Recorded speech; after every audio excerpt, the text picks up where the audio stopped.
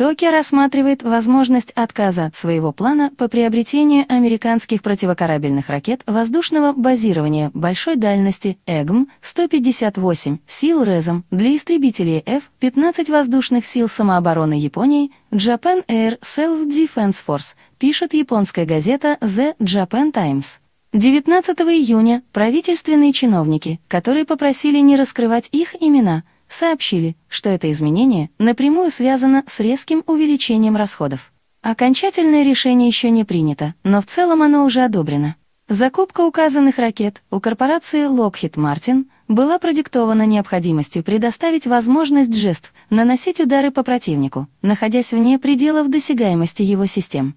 В последнее время Китай проявляет все большую активность в отношении японских территорий. Поэтому Минобороны Японии заявила, что ракеты, дальность действия которых составляет более 900 километров, необходимы для повышения обороноспособности страны вокруг цепи островов Нансей, протянувшейся на юго-запад в сторону Тайваня. Япония рассматривает возможность отказа от закупки американских ракет. Источники уточнили, что правительство хотело провести модернизацию 70 единиц F-15, но теперь, вероятно, это количество будет уменьшено.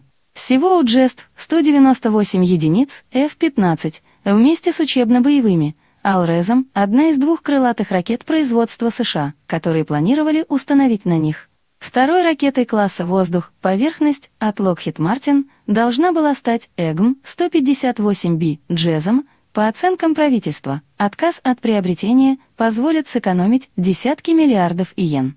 В бюджет на 2021 финансовый год начался 1 апреля. Правительство не включило расходы на модернизацию истребителей, полагая, что необходимо сделать приоритетными переговоры с американцами по сокращению расходов. Первоначальная стоимость модернизации, представленная американцами, позволяющая в 15 нести ЛРЭЗом, увеличилась почти до 240 миллиардов йен, 2,2 миллиарда долларов, с примерно 80 миллиардов йен, подытожила СМИ.